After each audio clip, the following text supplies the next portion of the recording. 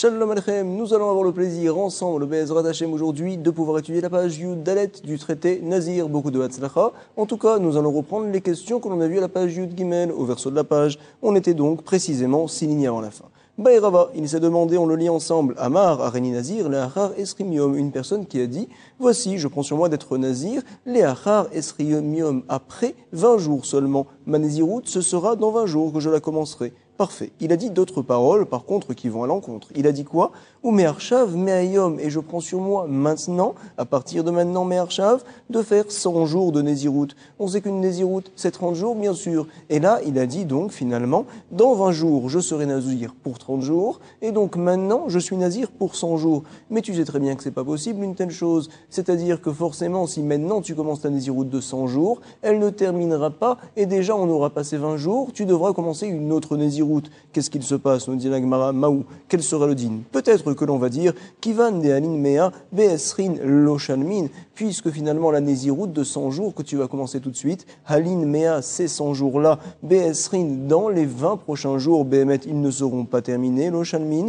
Alors on va dire, tu sais, Lochayin, finalement, la Néziroute ne commencera pas tout de suite, forcément, parce qu'on sait très bien qu'elle va être coupée. Tu attendras les 20 jours, tu feras 30 jours l'autre Néziroute. Quand tu termineras l'autre Néziroute, tu couperas tes tu apporteras les corbanotes, bien sûr, et à ce moment-là, donc, tu reprendras une nouvelle Néziroute cette fois, 200 jours, tout simplement. Maintenant, tu n'es pas Nazir. Ou bien, peut-être que non. Odilma, qui van de Hitle Gidul puisque finalement, Hitle Gidul c'est-à-dire que s'il fait 20 jours, il coupe pour faire une Néziroute de 30 jours, il coupera ses cheveux à ce moment-là, et donc après, on lui dira, il te reste à compléter maintenant encore 80 jours, les 20 du départ plus les 80 d'après. En 80 jours, les cheveux poussent finalement. Donc, Béhémet, ça peut, oui, être, on va dire, considéré comme la suite de la première Néziroute. Ça devrait être bon, parce qu'en 80 jours, les cheveux poussent suffisamment.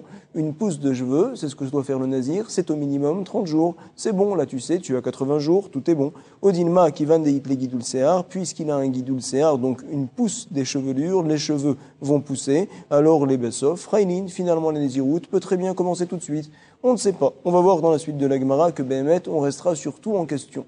Est-ce que la Néziroute des 100 jours commence tout de suite Ou bien peut-être que non, étant donné qu'elle doit être coupée, même si par la suite elle reprendra pour 80 jours, c'est pas bon. On dit, tu sais quoi, pour l'instant tu n'es pas du tout Nazir, tu ne le seras qu'après que tu aies terminé ta Néziroute de 30 jours. On ne sait pas. Vétivre né Néziroute Moetet, nous demande l'Agmara, mais attends. Ta question, elle est bien belle, mais pourquoi tu ne t'es pas posé une question au sujet d'une Néziroute Moetet? Une question plus simple. Par exemple, quelqu'un qui a dit Voici que je suis Nazir dans 20 jours, je serai une Néziroute normale, et également, maintenant, je suis Nazir. Mais attends, c'est pas possible une telle parole. Dans les Néziroutes, on parlerait ici de 30 jours. Et finalement, tu dirais, dans 20 jours, je serai Nazir 30 jours, et maintenant aussi également, je suis Nazir. Mais attends, si maintenant tu es Nazir, Béhémet, on va arriver dans 20 jours, tu n'auras pas terminé ta Néziroute, tu seras obligé de la couper. Est-ce que l'on va dire finalement comme quoi, maintenant, ça commence ta Néziroute, et que par la suite, tu la compléteras, il te manquera 10 jours, en effet, tu la compléteras, ou bien peut-être qu'on ne va pas dire une telle chose. Ces 20 jours-là, c'est rien du tout. Tu commenceras par la suite dans 20 jours une Néziroute. Quand tu l'auras terminée, tu feras encore une nouvelle Néziroute de 30 jours cette fois. Pourquoi finalement, dit l'Agmara, Rava ne s'est pas posé la question à ce sujet-là? Comme ça, elle vient nous dire Vétivrene, Nézirut, Moretet. Nous dit l'Agmara réponse Chada, Migo, Chada. Migo, ça veut dire dedans, à l'intérieur. Chada, c'est un. À savoir, il a une question dans l'autre, tout simplement. Kamibaene, il se demande. À savoir, Imtim Selomar, nous sommes à la page Dalet au recto. Si jamais tu veux me dire que Nézirut, Moretet, Kivan de Asarayomin, Hu, tu sais, quand c'est une Nézirut de 30 jours, finalement, quand il a dit dans 20 jours, je ferai une Nézirut et également, maintenant, je fais une Néziroute tout de suite, une Néziroute de 30 jours. Alors tu sais, qu'est-ce que tu comptes faire? 20 jours, arrêter, faire 30 jours, et par la suite reprendre 10 jours, puisque finalement, Kivan des Asarayomin en 10 jours, finalement, ou des il n'y a que ça qui va rester de ta première Néziroute. Alors finalement, l'Osalik, Hanin, Asara, Behemet, ça ne va pas, Salik, sortir ces 10 jours-là. Pourquoi? Parce qu'en 10 jours, finalement, on considère pas ça que c'est une Néziroute. Une Néziroute, c'est au minimum 30 jours. Donc Behemet, ça ne devrait pas marcher. C'est ce que l'on dit ici.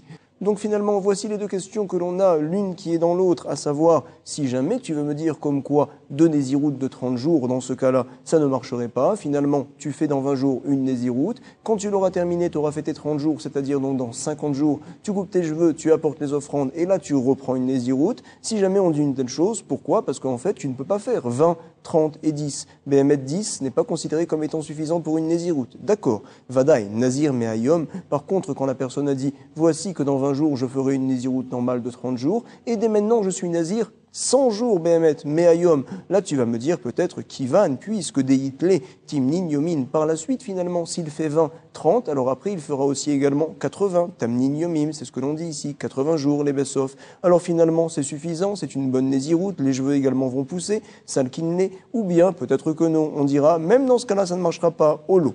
Et nous dit l'Agmara, tu sais, encore une autre question. Nous sommes à la quatrième ligne, au milieu de la ligne, Veim, Tim Selomar. Et si jamais tu veux me dire comme quoi, Chayle, Behemet, oui, ça va marcher, je peux faire 20 jours. Dans 20 jours, je coupe avec ma nésiroute de 30 jours. Quand je terminerai ma nésiroute de 30 jours, je couperai les cheveux, j'apporterai l'offrande. Alors là, je complète, je ferai les 80 jours qui me manquent.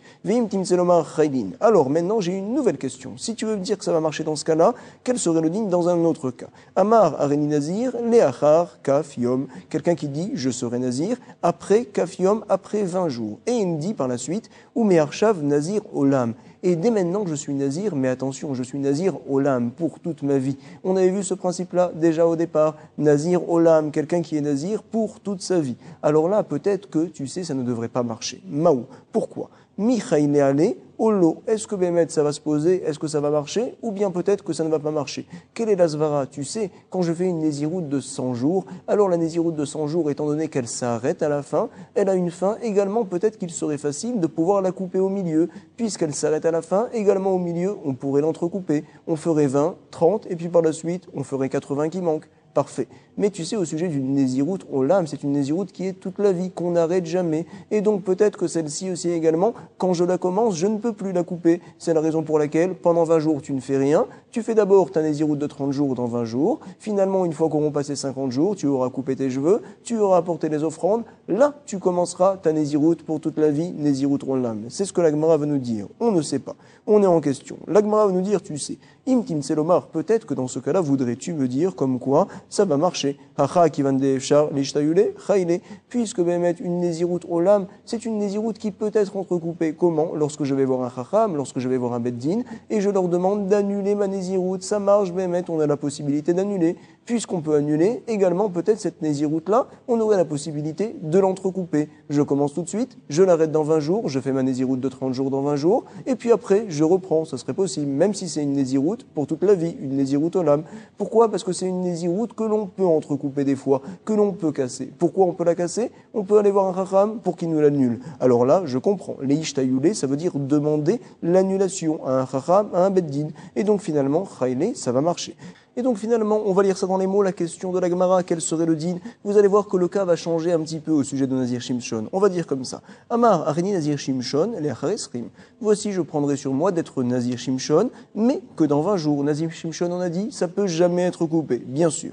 Et il a dit, ou Archav, Nazir Stam. À partir de maintenant, je suis Stam Nazir. C'est combien Nazir? On avait dit que c'est 30 jours. Mais attends, c'est formidable. Mais, Bémet, tu n'as que 20 jours sous la main. En 20 jours, tu ne pourras pas terminer ta Néziroute, il faut 30 jours. Tout de suite après, au bout de 20 jours, tu commences ta Néziroute Chimshon. Et bien, mettre la Néziroute Chimshon, elle peut pas se couper. Alors peut-être que finalement, la personne n'a pas pris sur elle du tout cette Néziroute-là. On la fera pas commencer. Maou, Achal, Oef Puisque finalement, on ne peut en aucun cas annuler la Néziroute Chimshon. Et donc aussi également, tu ne pourras en aucun cas commencer ta Néziroute de 20 jours, puisque tu sais qu'elle sera définitivement coupée. C'est ce que l'on dit ici. L'Oef Char, c'est pas possible. Les de me demander l'annulation de Néziroute Chimshon. Alors, Michaïlé, peut-être que ça va pas marcher, Olo, ou bien peut-être que ça va marcher, on ne sait pas.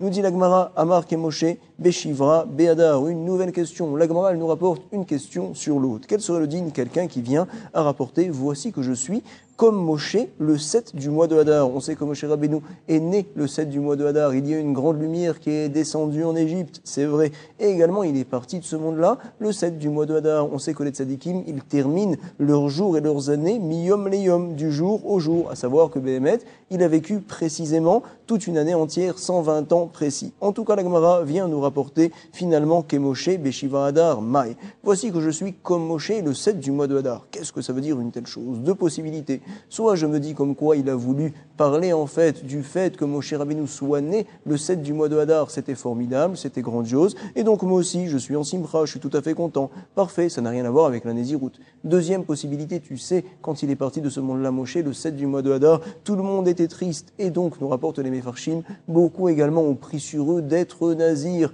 Alors en fait, quand j'ai dit je suis comme Moshe le 7 du mois de Hadar, c'est-à-dire comme ce qui s'est passé au sujet de Moshe, il est parti de ce monde-là le 7 du mois de Hadar, et les gens sont devenus nazirs, moi aussi également maintenant, je décide de prendre sur moi d'être nazir. Donc finalement, je ne sais pas vraiment qu'est-ce qu'il a voulu dire. Est-ce qu'il est nazir ou pas? C'est une nouvelle question. Kemoshe Beshiva Beadar, Mai. Alors nous dit l'Agmara, on a beaucoup de questions, c'est vrai. On va répondre néanmoins à une des questions, à savoir Pashot Meneyu, Kamadamaita. Nous allons donc, Pashot Meneyu, répondre par rapport à toutes ces questions-là. Kadamaita, à savoir la deuxième question, celle qu'on avait dit au départ. C'était laquelle? Areni Nazir, Leachar Yom. Quelqu'un qui rapporte Je suis nazir dans 20 jours. Et il a dit Umearshav Meayom. Dès maintenant, je commence une Néziroute de 100 jours. Mais attends, ça marche pas. Behemet, c'est impossible de faire une telle jour. Si tu la commences maintenant, ta Néziroute de 100 jours, elle va être entrecoupée. Peut-être donc que tu ne vas pas la commencer tout de suite. Tu attendras dans 20 jours de faire ta Néziroute de 30 jours. Quand tu auras terminé, une fois 50 jours passés, tu feras 100 jours. Ou bien peut-être que non. C'était la question qu'on avait. Quel serait le din Alors on nous rapporte ici clairement Moné Esrim. Oui, Behemet, tu comptes 20 jours. Après, tu interromps, tu comptes 30 jours, tu couperas tes cheveux, tu apporteras tes offrandes, et donc par la suite, tu compléteras avec 80 jours vers Harkar, monnaie, shmonim, yom. Bien sûr, par la suite, Harkar, monnaie, shmonim, tu pourras compter les 80 jours restants qui te manquent. Parfait. Pour pouvoir compléter le début de la Néziroute, de ta première Néziroute que tu avais commencé. Parfait. En tout cas, nous on a commencé à expliquer la page, on va continuer. L'Agma nous rapporte. Nitma bime benu.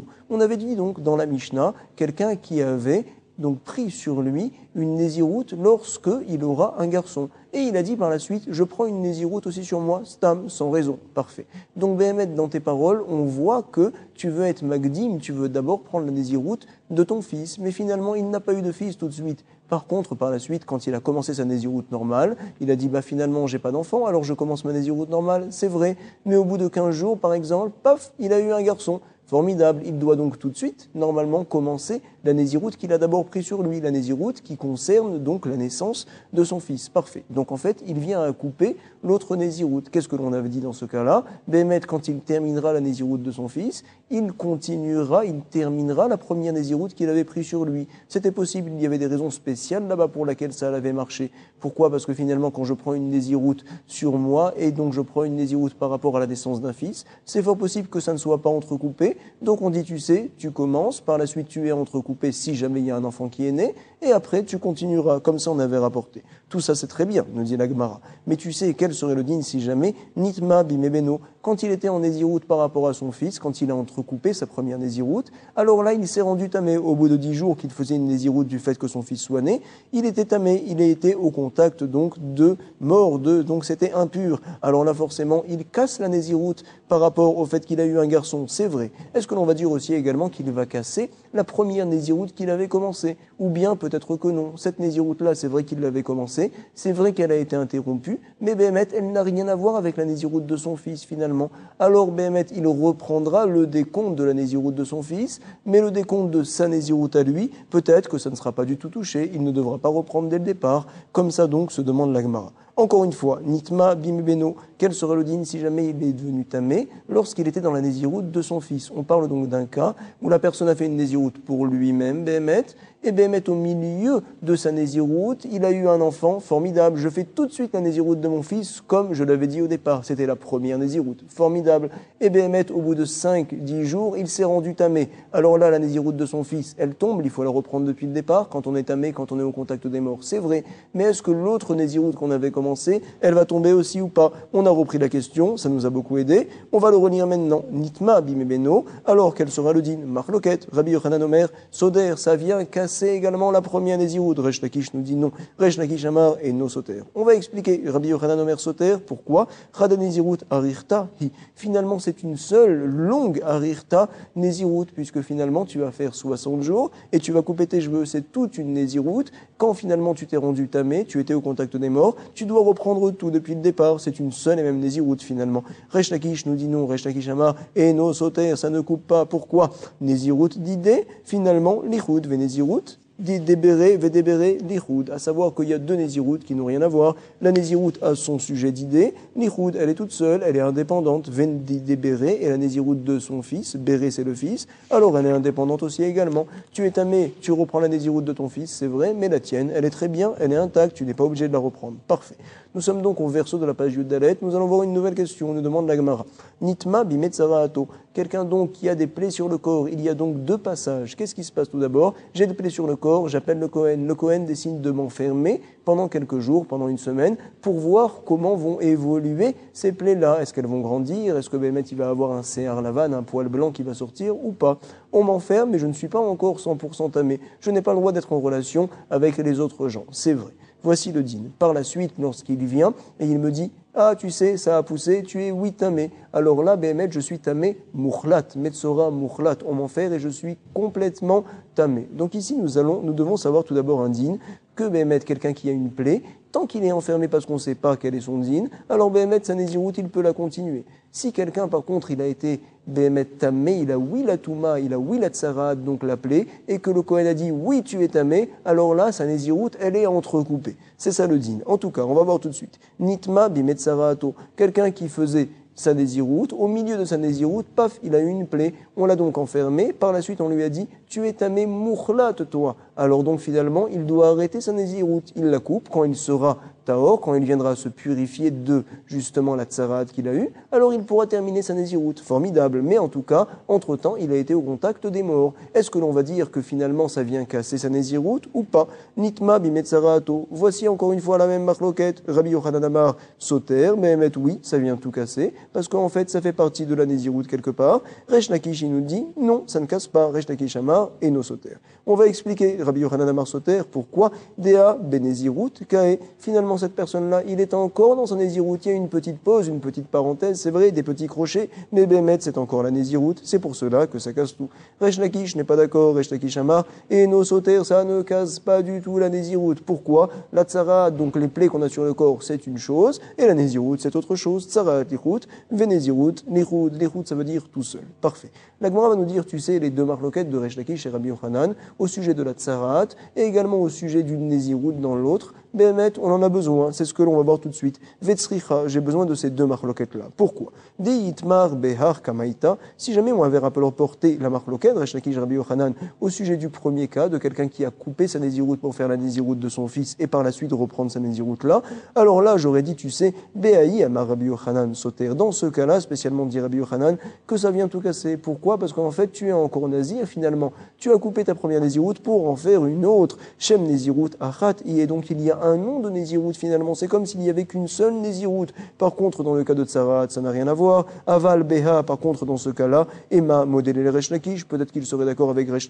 que ça ne casse pas tout. Finalement, comme ça nous rapporte l'Agmara. Emma, modélé les Resh Des Nazir, l'Ichoud, Vetsarat, l'Ichoud. La Néziroute, c'est une chose, et Behemet, la Tsarat, c'est une autre chose. Ça n'a rien à voir. Parfait. Et nous dit l'Agmara, Veit, Marbea. Et si jamais, donc finalement, peut-être tu aurais dû m'enseigner uniquement la deuxième marloquette Non. Si jamais on avait enseigné la marloquette BH dans le deuxième cas, qu'est-ce que j'aurais dit? BH Kama Reshlakish. Dans ce cas-là, a dit Reshlakish, comme quoi finalement ça ne casse pas tout. Aval Béhar, par contre, dans le premier cas qu'on a cité, finalement c'est tout une nésiroute, peut-être que ça va tout casser. Emma, modélé les Rabbi Yochanan, dit comme quoi il serait d'accord avec Rabbi Yochanan. Tsricha, point final, nous dit la Gemara, on a besoin de ces deux marloquettes, on comprend très bien, on va se demander encore autre chose. Tu sais, Nitma Beyom Gidum Sear on sait comme quoi, finalement, une personne, quand il est nazir, il termine sa naziroute, le lendemain, il apporte trois offrandes, korban khatat, korban ola, korban shlamim, et également, il coupe ses cheveux, également ses cheveux, qu'est-ce qu'il en fait? Il les met dans un des hôtels où on a là-bas brûlé donc les parties du corps du corps du korban. Alors finalement, il coupe ses cheveux. Parfait. C'est donc le lendemain de sa nésiroute, quand il a terminé. Maintenant, nous allons parler donc d'une personne qui a fait sa nésiroute, formidable, très bien, et le lendemain, au moment justement de couper ses cheveux, il s'est rendu tamé. Nitma beyom gidul sear. Quel sera le din Ravamar et nosoter. Rav va nous dire, tu sais, finalement, ça ne casse rien et nosoter. Pourquoi Tu as fait ton décompte de nésiroute, il a été terminé, alors finalement ton décompte était bon. C'est vrai, tu as une mitzvah d'apporter les corbanotes et de couper tes cheveux. C'est vrai, si jamais été rendu tamé, c'est un problème, on attendra que tu te purifies, et là, tu couperas tes cheveux. C'est vrai, mais en tout cas, ça ne vient pas casser le décompte que tu as fait, parce que Béhémet, c'était un bon décompte. On va voir tout de suite que c'est pas du tout évident. Il va y avoir un autre Amoura qui n'est pas d'accord. En tout cas, Rav nous dit comme quoi, Rav Amar et Nosoter. Et il vient nous dire, tu sais, affinou les Rabbi Yochanan, même selon Rabbi Yochanan qui pense qu'en règle générale, dans les cas plus hauts qu'on a vus au sujet de la Touma, au sujet également de la Tsarat de son fils, alors on dit comme quoi ça vient tout casser. Même Rabbi Yochanan là-bas qui dit que ça vient tout casser, affinou les Rabbi Yochanan des Amar Soter. Dans quel cas il a parlé à Néminé, ces mots-là, Benezirut. Dans un cas où il est au milieu de sa Nézirut finalement, ça a été entrecoupé, il ne l'a pas terminé. Par contre, ici, Guidoul Sear, le fait de pousser ses cheveux, Behemet, alors là, Mishnam il a quand même terminé sa Nézirut. Il a les cheveux longs encore, il ne les a pas coupés, mais le décompte a été terminé complètement. Alors là, il serait d'accord avec moi, comme quoi vient dire Rav, Behemet, cette personne-là ne casse pas sa Nézirut. Formidable, le décompte qu'il a fait, il est bon.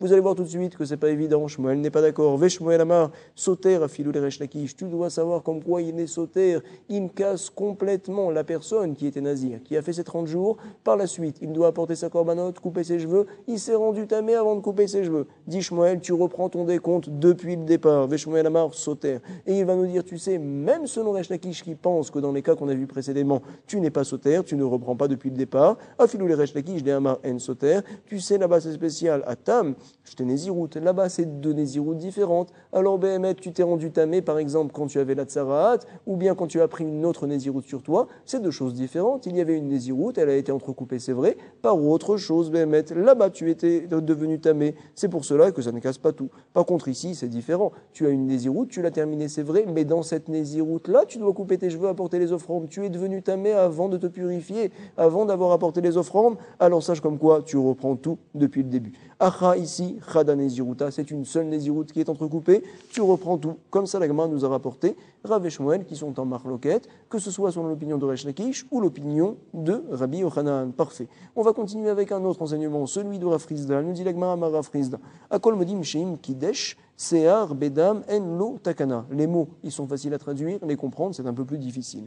À savoir, si jamais, tout le monde est d'accord comme quoi, si jamais il a sanctifié ses cheveux avec du sang, alors il n'a aucune solution En, Lo, Takana. À savoir, on parle donc d'une personne qui était nazir, formidable, il a fini ses 30 jours par exemple, il est parti apporter ses corbanotes, le corbanola, le korban shlamim, le korban ratat. Formidable. Monsieur, il faut vite que tu coupes tes cheveux et les cheveux, tu les mettras donc à l'endroit où brûle le corban. Parfait. Juste avant de, couper ses cheveux, qu'est-ce qui s'est passé? Il est devenu tamé. Tu es devenu tamé, tu ne peux pas couper tes cheveux, tu es bloqué complètement. C'est vrai, bon, je vais attendre quelques jours de me purifier. À ce moment-là, je couperai mes cheveux. C'est bien beau, tu vas couper tes cheveux, mais tes cheveux, tu dois les brûler à l'endroit où on brûle là-bas sur l'autel les corbanotes, les offrandes. Eh dans une semaine, les corbanotes, ils seront déjà tout brûlés. Donc finalement, tu n'as aucune solution. Tu sais quoi? Tu n'as aucune possibilité de couper tes cheveux. Alors finalement, toute ta vie, tu resteras avec des cheveux longs. Voici ce que vient nous dire justement Rafrizda.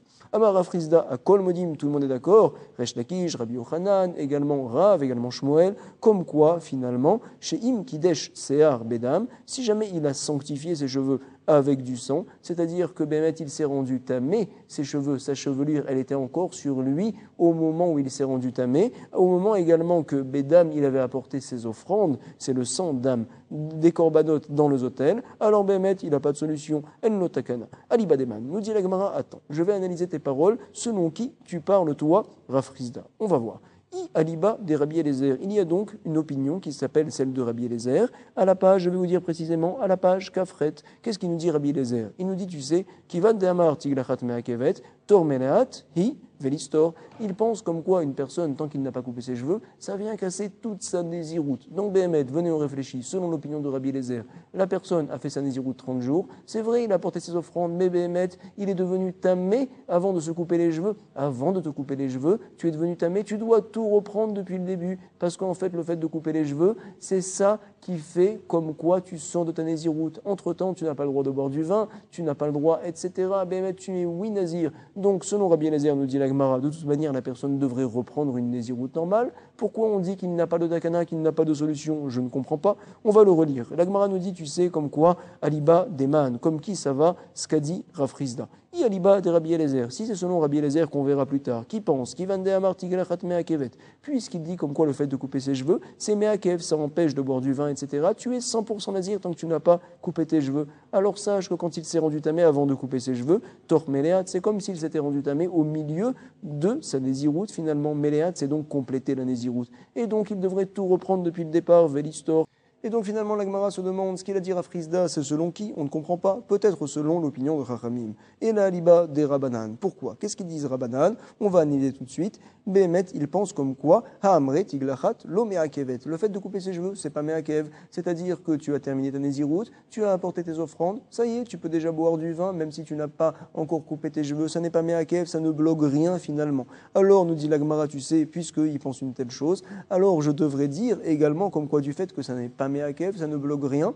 Alors finalement, même c'est pas grave, il aurait la possibilité de couper ses cheveux par la suite. Il s'est rendu tamé, mais peu importe, on s'en fiche. De la même manière qu'il pouvait boire du vin, il pouvait se rendre tamé. Parfait. Il peut même couper maintenant ses cheveux et les mettre tout de suite dans le feu, dans le doute. Il n'y aurait aucun problème, selon l'opinion des Kharamim. C'est vrai, tu as terminé ta nésiroute, tu as apporté les corbanotes. Peu importe que tu sois tamé, on s'en fiche. Pourquoi nous dire à Frisda que ça y est, tu es bloqué? On ne comprend pas du tout. C'est ce que l'on va voir tout de suite.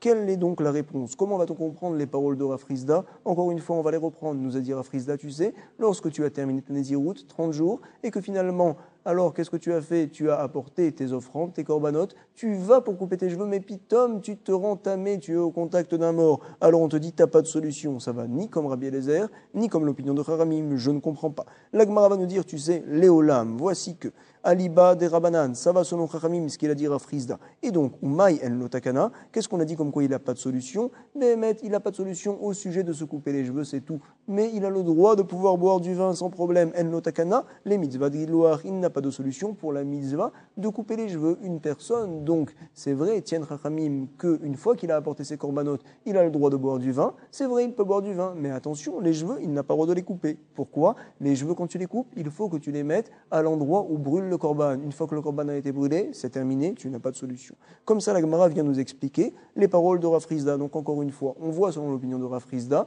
comme quoi une personne qui a fait sa nésiroute, il a terminé 30 jours, par la suite, il a apporté ses offrandes, et donc à ce moment-là, avant de couper ses cheveux, il se rend tamé. Alors on lui dit, tu sais, c'est vrai, tu t'es rendu tamé, tu as le droit de boire du vin sans aucun problème, mais simplement, couper les cheveux, tu ne peux pas le faire. Pourquoi? C'est trop tard. Maintenant, tu ne peux pas les couper parce que tu es tamé. Plus tard, quand tu te purifieras, sache comme quoi déjà le temps sera passé, tes corbanotes, tes offrandes, ils auront déjà brûlé. Parfait. Comme ça, la Gemara vient nous expliquer les paroles de Rafrizda. Amar Rabbi aussi, Berabi Khanina.